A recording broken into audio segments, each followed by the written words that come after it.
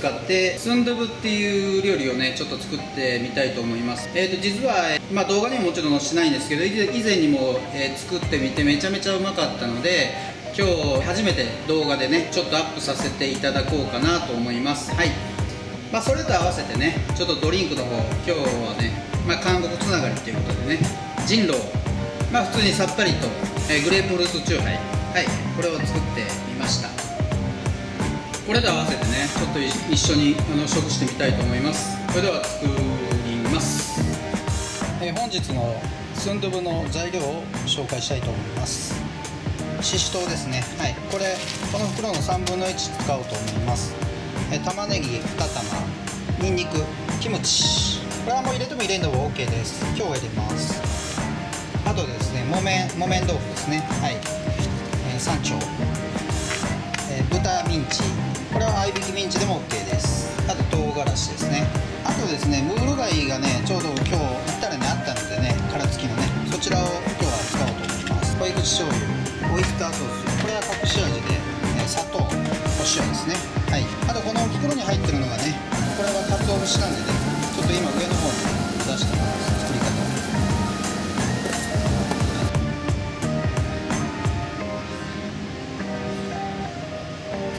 以上で作っていきたいと思います。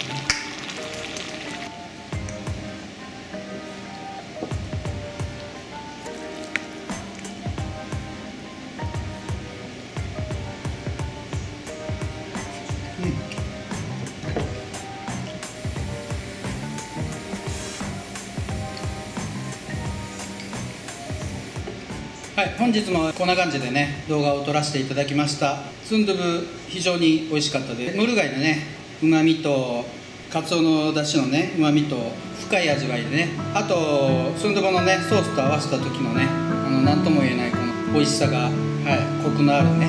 最後までご視聴ありがとうございます。はいそれではまた次回お楽しみください。